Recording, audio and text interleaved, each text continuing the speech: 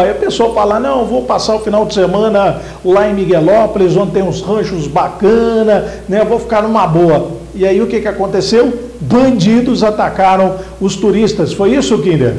Exatamente, Samuel Sintra. Mais um caso de, infelizmente, ataque né, desses canalhas, né? Vamos dizer assim, porque não tem muito o que falar sobre eles não.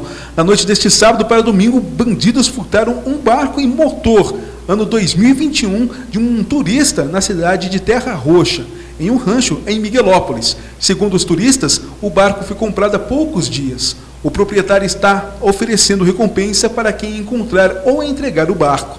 Bom, o barco MG Náutica motor Mercury 30 HP tem a recompensa de 5 mil reais para quem encontrar ou entregar o barco. Informações pelo telefone 17 99224 2165. 17 99224 2165. Ou então pelo 190 da Polícia Militar, Samuel Sintra. Pois é, eu até entendo né, a tentativa aí do, do, do proprietário em tentar recuperar o bem dele pagando uma recompensa, mas é um tapa na cara do povo, porque realmente você já leva é, anos trabalhando, suando para conquistar aquilo que você sonha.